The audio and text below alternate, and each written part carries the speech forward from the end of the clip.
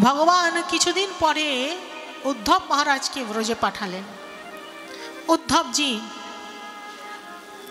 যিনি ভগবান শ্রীকৃষ্ণের মতোই দেখতে ছিলেন। ভগবান উদ্ধবকে পাঠিয়েছিলেন তার কারণ কি?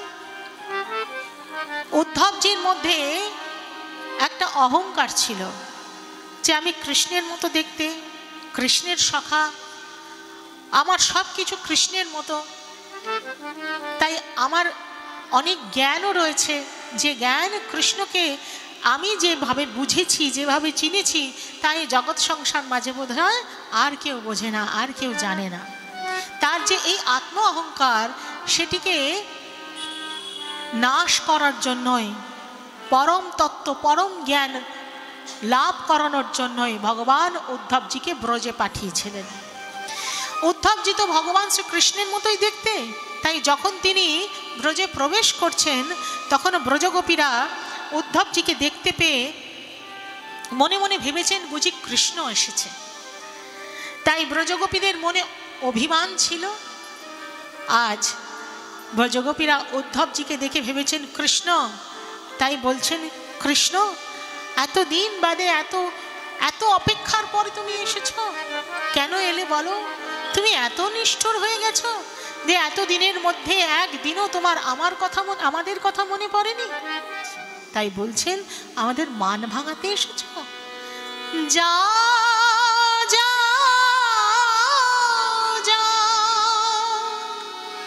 নিঠুর নীলাজ ভাঙাতে সোনামা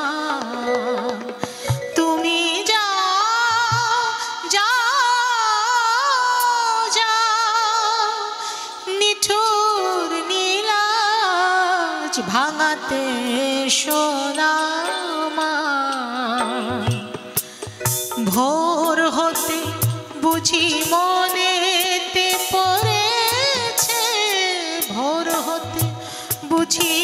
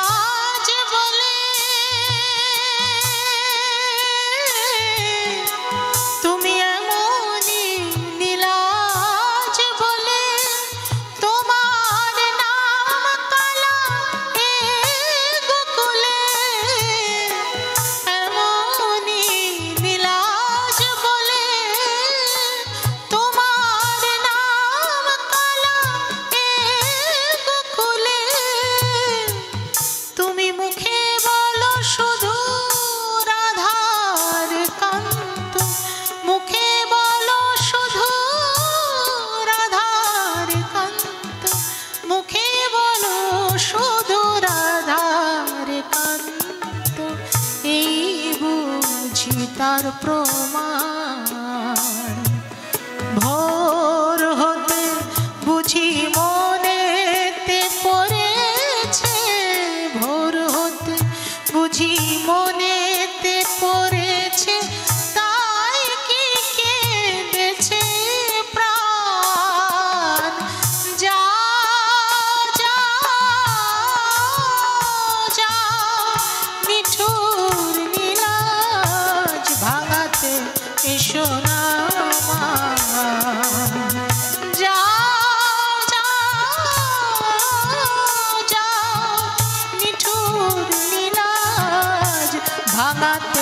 সোনা ভোর হতে বুঝি মনে পড়েছে। ভোর হতে বুঝি মনে পড়েছে। তাই কে কেঁদেছে প্রাণ? যা যা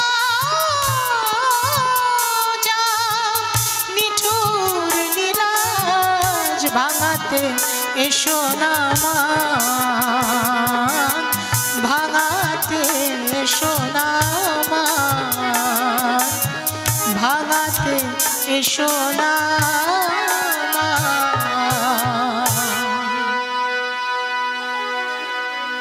উদ্ধবজি মনে মনে ভাবতেন যে আমার থেকে কৃষ্ণকে বোধ আর কেউ এমন প্রেম করতে পারেন না। যখন ব্রজে এলেন, তখন উদ্ধবজি বুঝতে পারলেন যে ব্রজের প্রেম কেমন। ব্রজগোপীদের এমন অবস্থা। কৃষ্ণ বিহনে, হা, কৃষ্ণ প্রাণ, কৃষ্ণ বলে তারা কেঁদে আঁকুন পিতানন্দ মহারাজ, মাতা যশোমতী, তারা গোপালের বিরহে ব্যাকুল হয়ে আছে। মাতা যশোমতী কেঁদে কেঁদে তার এমন অবস্থা যেন তিনি অন্ধ হয়ে গেছেন। পিতানন্দর অবস্থাও তাই। মাতা যশোমতী সবসময় কৃষ্ণের কথা ভাবেন, এই বুঝি কৃষ্ণ এলো, এই বুঝি কৃষ্ণ এলো। তাই সব সময় ভগবানের যা প্রিয়, সেই নবনী তিনি হাতে ধরে বসে থাকতেন, এই বুঝি কৃষ্ণ এলো। মনে মনে ভাবতেন, আবার কৃষ্ণ আসবে নবনী তার মুখে তুলে দেব।